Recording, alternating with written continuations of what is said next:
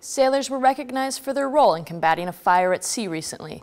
The fire began in an E-2C Hawkeye in the hangar bay of USS Ronald Reagan October 18th.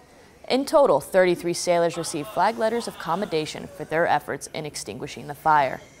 The Essex Amphibious Ready Group and its nearly 4,500 sailors left the 5th Fleet Area of Operations November 1st. Essex and its Air Wing participated in Operation Inherent Resolve, as well as training exercises with the French and Jordanian militaries. The Essex ARG is on its way to the 7th Fleet AOR before returning home from their seven-month deployment.